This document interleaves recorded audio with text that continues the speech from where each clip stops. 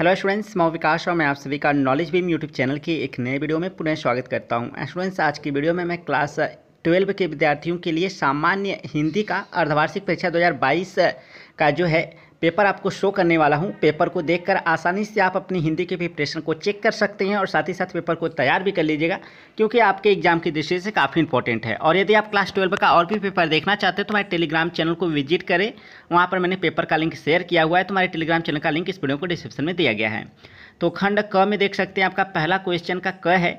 निम्न में से हरिशंकर परसाई का निबंध संग्रह है। तो कौन सा आपको चार विकल्प दिया गया है? सही विकल्प आपको चुनाव करना है। और एक चीज़ मैं आपको और बताना चाहता हूँ, यदि आप हिंदी गद्य या हिंदी पद्य के ऑब्जेक्टिव क्वेश्चन का जो है तैयारी करना चाहते हैं तो आप हमारे website knowledge plus dot com को विज़िट करके ज़रूर आप लोग इन दो टॉपिक को तैयार कर सकते हैं। इसके बाद ख वाला क्वेश्चन है वाड़ भट्ट की आत्मकथा किस विधा की रचना है। ये सारे क्वेश्चन के आंसर वहाँ पर आपको देखने को मिल जाएगा, ठीक है? इसके बाद आपका ग वाला क्वेश्चन है, आचरण की सभ्यता निबंध के लेखक हैं। तो कौन है आपको चार विकल्प है सही विकल्प का चुनाव करना है। इसके बाद आपका क्वेश्चन नंबर घ है, हिंदी का प्रथम मौलिक उपन्यास कौन सा है? बहुत ही सरल क्वेश्चन है और काफ़ी इंपॉर्टेंट है, कई बार पूछा गया है, ठीक है? तो आप तैयार कर लीजिएगा और आपको ना आए कोई भी ऑब्जेक्टिव क्वेश्चन तो आप टेलीग्राम चैनल पे मुझसे पूछ भी सकते हैं। इसके बाद आनंद कादम्बनी पत्र के संपादक थे तो कौन थे आपको यह बताना है? अब इसके बाद आपका हिंदी पद्य से संबंधित क्वेश्चन दिखाई देगा। तो इसमें दूसरा का क वाला क्वेश्चन है, भक्ति काल की रचना है तो कौन सी है? चार विकल्प है सही विकल्प को चुनाव करना है। इसके बाद ख वाला क्वेश्चन है, किस कवि को राष्ट्रकवि का सम्मान प्राप्त हुआ है? बहुत ही इंपॉर्टेंट क्वेश्चन है। इसके बाद आपका ग वाला क्वेश्चन है चिदम्बरा पर ज्ञानपीठ पुरस्कार प्राप्त हुआ है। तो किसको? यह भी इंपॉर्टेंट क्वेश्चन है। इसके बाद आपका घ वाला क्वेश्चन है पाणिकालीन भारत शोध ग्रंथ के लेखक हैं। तो कौन है आपको ये बताना है? इसके बाद अंगा वाला क्वेश्चन है डॉक्टर हरि प्रसाद द्विवेदी की अनुदित रचना है। तो कौन सी है? चार विकल्प है, सही विकल्प आपको चुनाव करना है। इसके बाद आपका क्वेश्चन नंबर तीसरा है, करा कि दिए गए गद्यांश पर आधारित प्रश्नों के उत्तर लिखिए। तो यह गद्यांश आपको जो है, पढ़ना है और पढ़ने के बाद नीचे जो प्रश्न पूछे गए हैं, उन प्रश्नों का उत्तर आपको इसी ऊपर दे के गद्यांश के आधार पर देना है। और अगर आपको स्पष्ट रूप से न दिख रहा हो तो वीडियो की क्वालिटी यूट्यूब की सेटिंग से बढ़ा लीजिएगा, ताकि आपको स्पष्ट रूप से दिखाई दे, क्योंकि पेपर काफ़ी धुतला है, ठीक है?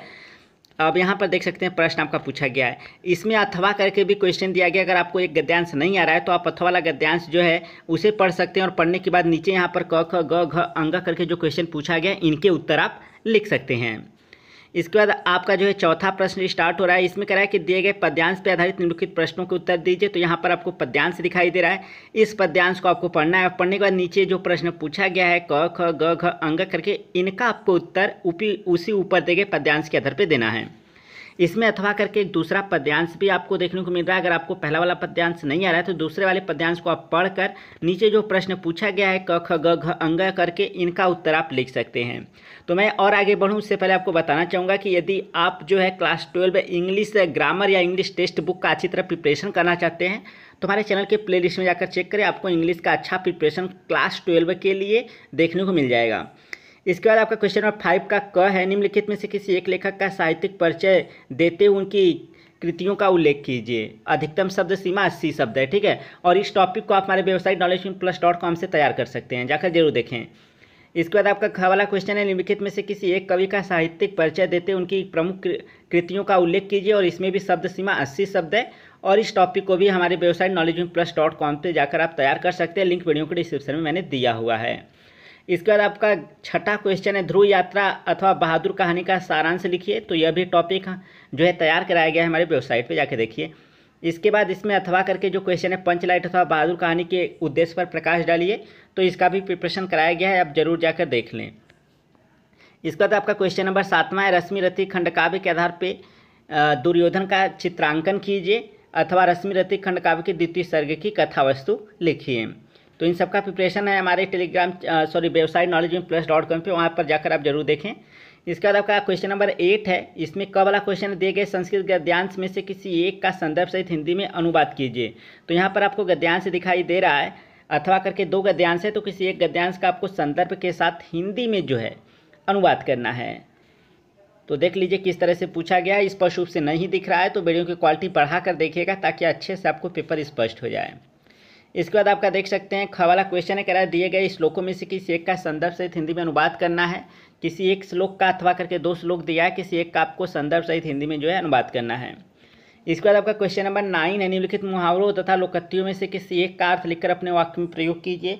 तो ये आपको मुहावरे या लुकतियाँ जो देखने को मिल रहा है तो इसमें से किसी एक का आपको अर्थ लिखकर वाक्य में प्रयोग करना है। इन सब ग्रामर पोर्शन का जो प्रिपरेशन है, हमारे हमारे वेबसाइट नॉलेज में प्लस डॉट कॉम पर देखने को मिल जाएगा। आप ज़रूर वहाँ पर जाकर एक बार ज़रूर आप चेक करें, आपको अच्छा इंग्लिश हिंदी का और इंग्लिश का प्रिपरेशन देखने को मिलेगा। इसका क्लास आपका जो है क्वेश्चन नंबर जो टेन है, इसमें क वाला क्वेश्चन है, निम्न शब्दों के संधि विच्छेद के सही विकल्प का चयन कीजिए। तो सही विकल्प आपको चुन, है, चुनाव करना है, पहला, दूसरा, तीसरा करके यहाँ पर देख सकते हैं क्वेश्चन पूछा गया और सबके लिए विकल्प दिया गया है और इन सबका भी प्रिपरेशन हमारे वेबसाइट पर अवेलेबल है, जाकर ज़रूर आप देखें। इसके बाद आपका ख वाला क्वेश्चन है, दिए गए नम दिए गए निम्न शब्दों के विभक्ति और वचन के अनुसार सही विकल्प का चयन करना है आपको। तो देख सकते हैं, पहला, दूसरा करके किस तरह से क्वेश्चन पूछा गया है। इसके बाद क्वेश्चन नंबर ग्यारह आपका है, ग्यारह का क वाला क्वेश्चन करा कि निम्न शब्द युग्मों का सही अर्थ चयन करके लिखिए। तो सही अर्थ चयन करके आपको लिखना है। और इन सब का प्रिपरेशन है हमारे वेबसाइट पे, आप ज़रूर जाकर तैयार करें, आपको बोर्ड एग्ज़ाम में काफ़ी हेल्प करेगा। इसके बाद आपका ख वाला क्वेश्चन है, निम्न शब्दों में से किसी एक शब्द के दो अर्थ लिखिए। तो एक शब्द के दो अर्थ लिखने हैं किसी एक शब्द का ठीक है? इसके बाद ग वाला क्वेश्चन कराए निम्न वाक्यांशों के लिए एक शब्द का चयन करके लिखिए। तो यहाँ पर आपको शब्द समूह दिखाई दे रहा है उसके लिए एक शब्द का आपको जो है चयन करना है। और इन सब का प्रिपरेशन हमारे हमारे वेबसाइट नॉलेज में प्लस डॉट कॉम पर अवेलेबल है जाकर ज़रूर देखें। इसके बाद घ वाला क्वेश्चन इनमें से किन्हीं दो, दो वाक्यों को शुद्ध करके लिखिए। तो किन्हीं दो वाक्यों को शुद्ध करके लिखना है और इसका भी प्रिपरेशन हमारे वेबसाइट पे अवेलेबल है। हिंदी का अच्छा प्रिपरेशन कराया गया है। इसके बाद क्वेश्चन नंबर बारह का आपका क ख ग करके तीन क्वेश्चन पूछा गया है। और देख सकते हैं आपका पहला रस से है, दूसरा अलंकार से तीसरा चौपाई सोठा अथवा छंद से है। तो इन सबका प्रिपरेशन हमारे वेबसाइट नॉलेज इन प्लस डॉट कॉम पर अवेलेबल है, जाकर ज़रूर चेक करें आप। इसके बाद आपको क्वेश्चन नंबर तेरह में देखिए, समाचार पत्र के लिए समाचार पत्र के संपादक के लिए आपको जो है पत्र लिखना है। किस टॉपिक पे लिखना है, देख लीजिए आप। इसके बाद आपका जो है क्वेश्चन नंबर जो चौदह है, इसमें आपको किसी एक विषय पर जो है निबंध लिखना है अपनी भाषा शैली में। तो किसी भी विषय पे आप निबंध लिख सकते हैं। तो यह है आपका क्लास ट्वेल्व का अर्धवार्षिक परीक्षा 2022 का हिंदी का क्वेश्चन पेपर, जिसे मैंने आपको शो किया। वीडियो अगर पसंद आया तो वीडियो को लाइक करें और इंग्लिश की अच्छी तैयारी तैयारी के लिए बोर्ड एग्ज़ाम के लिए हमारे इस चैनल को ज़रूर आप विज़िट करके प्लेलिस्ट में चेक करें। आपको इंग्लिश का अच्छा प्रिपरेशन देखने को मिल जाएगा। और पेपर के लिए आप हमारे टेलीग्राम चैनल को ज्वाइन कर लें। तो मिलते हैं नेक्स्ट वीडियो में। तब तक के लिए thank you so much watching this video.